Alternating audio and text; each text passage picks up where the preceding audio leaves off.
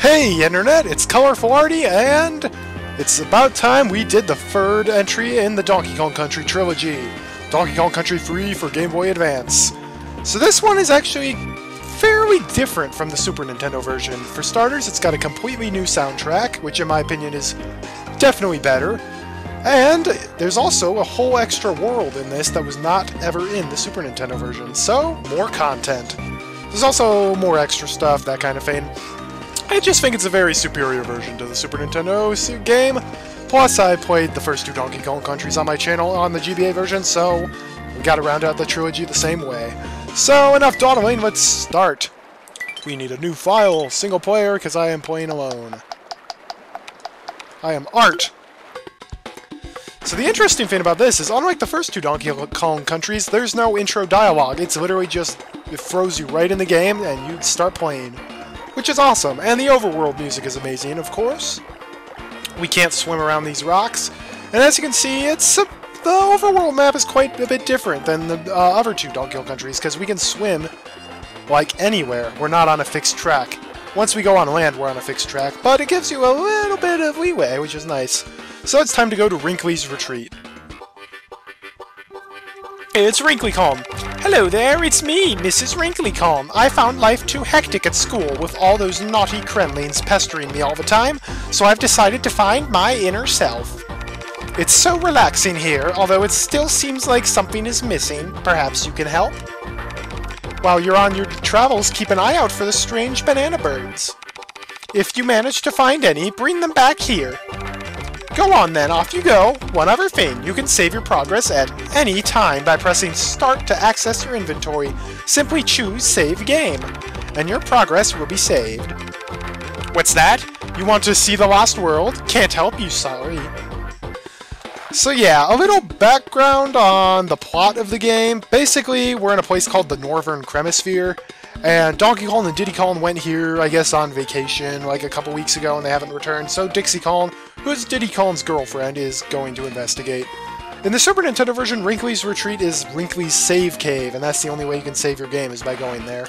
But because it's portable on the GBA, they had to make it so you can save anywhere, which is a big improvement as well. So now let's go to Bazaar's General Store. Hello there, young Dixie. The name's Bazaar, and this is my general store. All of my brothers are scattered around these islands. Pop in and say hello if you think you spot one of them on your travels. Yeah, so this is kind of weird. In Donkey Kong Country 3, most of the overworld, like, places you visit are random bears. It's, it's kind of interesting. Uh, so we can buy some stuff from him. Where's that shell from? This shell was found at the bottom of Lake Orangatanga and is pretty rare. At 5 bear coins, it's a bargain. Would you like to purchase this fine specimen? Well, we don't have 5 bear coins, so no. Is that a mirror? Yes, it's no ordinary one, though. It was Cranky's great-grandfather's. I can't let it go for less than 50 coins. Can I interest you in buying this fabulous item? You gotta be joking. Man, I love chocolate. These are the finest chocolates, guaranteed to impress. They can be yours for just 20 coins. Uh, sorry. Yeah, I'm a cheapskate. I sh probably shouldn't have gone to the general store before getting any money, but that's my problem. so, who owns the castle? Well, I ventured up there once, but if you want to know what I discovered, it'll cost you two coins, so what do you think? Are you interested? I'm saving for Swanky's. Yeah, Swanky comes back in this, but he doesn't run a game show. He runs something a little lamer, unfortunately. Sorry. I feel like I've got some mucus in my throat. Alright, but basically if you paid him the coins, he would have said, like, oh yeah, I went up to the castle, there was a sign that said, don't come any closer, so I left. So that's kind of worthless. Are there secret caves? Quite a lot, actually, but if you want me to tell you, it'll cost 13 coins. So how about it, Dixie? Would you like to hear more? I'll find them myself. So, basically he'll be like, yeah, there's one secret cave out there for every coin you gave me for that information. So there are 13 secret caves that you need to find. Nothing today, thanks. I have no money. Hey, you just have a really nice day now, Dixie. You hear? Well, that's nice, considering I just walked in, talked to him about all of his items, and then left without it buying anything. That's very nice of him. Anyways, time to go to Funky's Rentals. Funky's back in the boat business. Yo, Dixie, what's happening? I've said set up my smoking new boat shop on this island, but that's not all. I've also brought your excellent cousin Kiddy Kong along for the ride. He may be a toddler, but if you let him throw you upwards, you'll almost reach the stars. Oh yeah! And if you throw him, his humongous body can smash through the floor of some areas. Trust me. Yeah, so we don't get Donkey Kong or Diddy Kong on our team, we get Kiddy Kong. Yeah. I have to say I'm not a fan of Kiddy Kong, in addition to having a very annoying crying animation. Really, he could have just been Donkey Kong. You could have put Donkey Kong in this game and nobody would be any of the wiser. I don't know why they didn't do that. Also, fun bit of lore, so Kiddy Kong is Dixie Kong's cousin, also, he's Chunky Kong's little brother. I just thought that was interesting. So, we can do a boat challenge if we want, but I feel like that would be a boring way to start the Let's Play, so we're going to hire a boat. Right now we only have one boat. We will get more later in the game, though.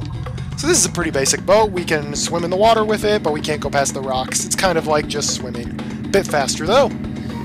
So if we go up here and push A, we get to the first secret cave, Bounty Beach.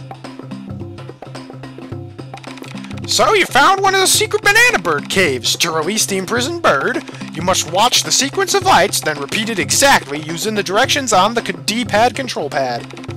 Seems like a waste of time to me. Why can't these game developers come up with something more interesting? I'm with you, Cranky. So just follow the pattern. Pretty easy. Those get a bit more difficult. And if you beat clear a secret cave, we get a banana bird. Yeah, we could go back to Wrinkly, but honestly, it's time to just start the game. So let's go to the first world, Lake Orangatanga. First level up is Lakeside Limbo. So we've got Dixie Kong and Kiddy Kong here. Dixie Kong plays the same way she did in Donkey Kong Country 2. She carries barrels above her head, and she can do a little hover move if you press A and hold B. Also, if you pick up uh, Kiddy Kong with the R button and you throw him upwards, you'll notice how he slammed the ground. He can use that to break certain planks. Now, uh, Kiddy Kong, on the other hand, holds barrels in front of him, he can roll, he's a little agile, and also he can do the partner throw that both Dixie Kong and Diddy Kong could do in Donkey Kong Country 2. You can use that to reach high places, and we can get invisible 1-ups. Neek the Rat's back, and as are the KONG letters. Kiddy Kong also has another ability that I'll show off later. So right here, you'll notice there's a bonus barrel there, those are back, and the cracked floor there. This is an example of what you want to do eh, by throwing Kiddy Kong in there. Just like that. And first bonus barrel, collect 50 stars. Each bonus barrel has a certain objective. If you can clear them, you will get a bonus token. Just like that one. Good music in this game. I feel like I feel like the Super NES uh, version of the game had like very atmospheric music, but this one has more in-your-face awesome music. This is a coin with a K. Basically, you remember the hero coins in Donkey Kong Country 2? These guys have them in this. You can see they're using it as a shield. So you can't actually do anything to kill them. No matter what you do, they will always follow you with their shield. The way to kill them, throw a steel keg, rebound it off a wall, and hit their back. And you will receive a hero coin for your troubles. It's important to collect those. Critters are back as well. We haven't seen them since Donkey Kong Country 1. And as a rule of thumb, if you see any shack, you should probably throw Dixie Kong up on top of it. Point taken, we got a 1-up and 2 bear, bear coins. Now it's time for an underwater segment. Pretty short one. And I will take this opportunity to show off one of uh, Kiddy Kong's other special, his ability to bounce across the surface of water. It's very hard to do, but you will need to do it if you want 100%. So you roll and push it. Okay, that was bad timing. You can roll... Nope. You have to roll and push A at just the right time, and he will rebound like that, and yep. You actually can do it multiple times, and he goes higher each time. So we can swim under here, and get another bonus barrel over there. But if we actually go past it, we get two 1-ups and two bear coins. Sweet! And now we collect 50 15 bananas. These are my least favorite missions, because the bananas are totally random in where they appear, and it can just take a while. But at least it gives you an opportunity to hear the amazing bonus music. Also, this game has gorgeous graphics. I mean, the Super NES version had better graphics than this, but like, consider this a Game Boy game, and also even just considering it was an, a Super NES game, really good graphics, partly because it was made when the N64 was coming out. This is one of my big complaints of Donkey Kong Country 3. Instead of Rambi, they put in Ellie the Elephant, who is highly inferior, because she can't just run enemies over. She can suck barrels towards her, though, which is nice. That was an inflatable bird. If you pop them, they usually have prizes inside. So yeah, Ellie can pick up barrels, and we'll see more of her later in the game and more of her special moves. But I like Rambi much better. So we get a bear, uh, bear coin and a banana bunch up there. And now it's time to raise the flag. That's the first level down. So the way you tell if you've gotten 100% on a level, there's a couple ways. There's a couple things you need to note. So, the color of the flag determines who you beat the, uh, the course with. A blue flag means you beat it as Kiddy Kong, and pink means you beat it as Dixie Kong. That little yellow flag there means that we did get the hero coin on that level, and the fact that the, uh, the flag is flying and blowing in the wind and it's not dangling like there's no wind there means we got all the bonus barrels. That's the only way to tell the level stats, which is kind of annoying. But anyways, next level, Doorstop Dash. And this is much better than the Super Nintendo music. This, this is one of my favorite songs in the game. So the main gimmick is of this level, pull the lever, open the door. The door will only stay open for so long though. An example, Diddy, Kiddy Kong rolling, and yeah, if you jump into the door while it's closing, or just in a part of it that's actually there, you will bounce off of it. And I'm going to feel like I'm going a little overboard with the information, but there's just so much to introduce. So this is a trapdoor. If you jump on it, you will fall down, and I have no idea how I took damage there. Oh well.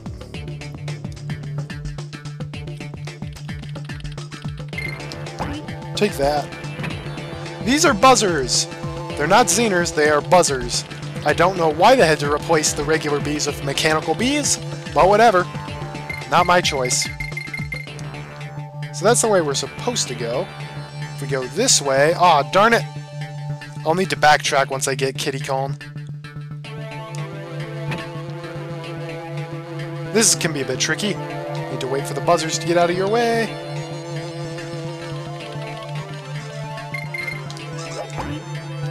Well, maybe we actually will not be able to backtrack at this point because the door is shut.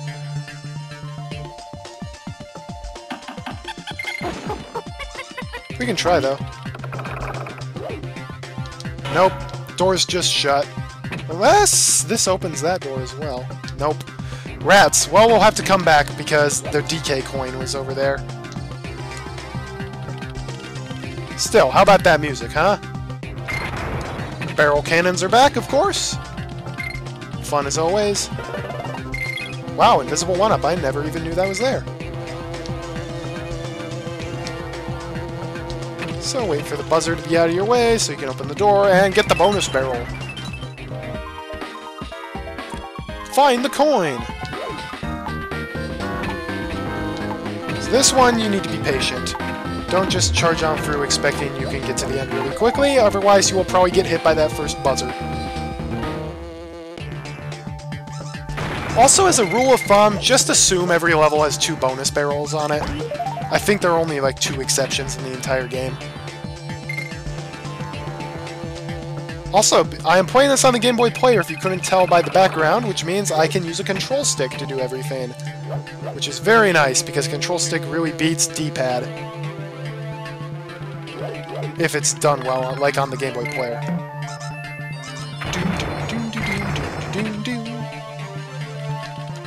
The Donkey Kong Country series just has great music all around. I can't remember which composer made this, uh, the music for the GBA remake. I don't think it was David Wise. It also was not Grant Kirkhope. Please let me know in the comments if you know who did it. So hold the le to uh, hug the left wall there to get over here.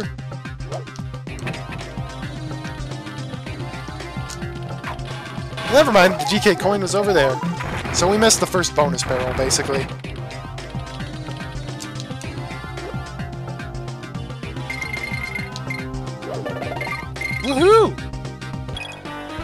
Yeah, you'll notice the flag is not, like, blowing in the wind, really. It's kind of drooping down. That means we missed one of the bonus barrels. I will... Ooh, this means I can also take off the opportunity to show off another gimmick. Or not really gimmick, but another secret in the game. So we're gonna just go ahead and get that bonus barrel. Oh, maybe we won't be able to show it off. Rats. That's fine. I was going to show off warp barrels, but I can do that in another episode. Alright. Yeah, so what we want to do is for Dixie Kong up here. Open the door. Now we need to do a pretty precise throw there in order to get Dixie Kong actually in the door.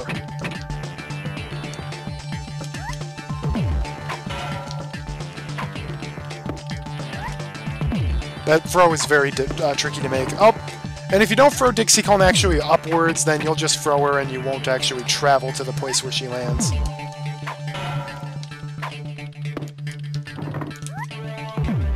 Man, this is trickier than I remember.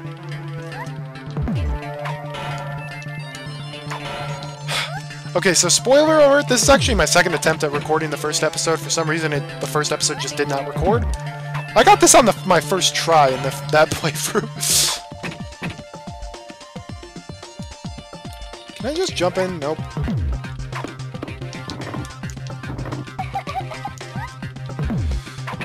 Man, this is tough.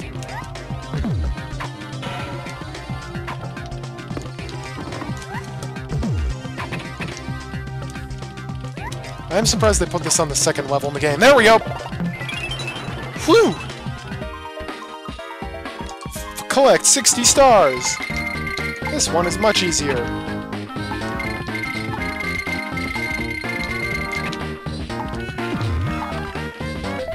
Bonus coin, bonus, bonus coin, bonus coin. And now we can just start select and leave the level because we've already beaten it before. Sweet! Alright. This is not Wrinkly's Save Cave, this is Cranky's Dojo. Welcome to my training area! I'm fed up with you young whippersnappers having all the fun. So I'm improving my skills for my next big adventure in Cranky Kong Country. If Cranky Kong Country ever comes out, I will buy it, and I will play it so hard. You can help me train if you like, but I'm no charity. I need to raise cash to fund my new project, so I'm going to charge you for the privilege of training with a master. Cranky Kong originated Kickstarter. As it's early in the game, I'll let you train with me for just one of those stupid silver coins. The ones with those freaky bears' heads on. Let's train, Cranky. Help me deflect these spiky critters with my trusty shield. Use the control pad to move my shield into the correct blocking position. You'll get a reward based on your performance. Get ready! We actually play as Cranky Kong for this weird minigame. I love Cranky Kong, so I am actually kind of a fan of this even if it is a bit disappointing. So yeah, you can just move left, you can move left and up, you can move left and down, and then right in any of those directions as well. If you can deflect them all, which is not terribly hard, then you get a uh, banana bird as a reward. Occasionally you can get some tricky ones. Whew! That one was close. Training complete! The man, he, planned, he planned, or he trained for Tropical Freeze, and he did it. Excellent skills! You managed to deflect all those spiky critters. You have completed the Master's Challenge. Take this bird. I'm sure it will come in useful. Somehow. Another banana bird for us. And hey, thanks! He even gave us our money back. Thanks, Cranky. That's very generous of you. So, more underwater, uh, overworld shenanigans. So if we swim over here, we can find another bear's house. In the Super NES version, this was Barnacle's Island, but it's something different in this. It's Bachelor Pad. Hello there, how's it going, Collins? Bachelor is my name, and I've built this fantastic new pad. I could really do with your help, though. I'm looking for someone to share my wonderful home with. To help me find the girl of my dreams, I need a beautiful rose and a box of chocolates. Could you get them for me? If you do, I'll trade you that stupid yellow bird that keeps getting feathers in my hot tub. Here, take this. It might come in useful. I'm not sure if that's the right voice for Bachelor Bear. Clear off, then. I need to take a bath as I prepare myself for my hot date. And he gave us a weird old flower. We will need that for later in the game. I am going after 100% in this. You have to if you want to see go after every level. If we go up here, another hidden cave, Smuggler's Cove. Yellow, yellow, green. So these are very easy. Eventually they get up to very long patterns. But it, uh, it's not too bad. Alright, that is where we're going to leave it off for this episode. Thank you very much for watching. I'm Colorful Arty. I hope you tune in for the remainder of this Let's Play. It's going to be a very fun one. Next episode, we will probably finish Lake Orangatanga, maybe start on the next world. And we're going to start that by playing Tidal Trouble, another bridge level. Have a great day, and God bless. And if you just want to save your game, just push start, and you can save your game. And you can see very limited progress as to how far you've gotten. We only have 4%. We better pick up the speed.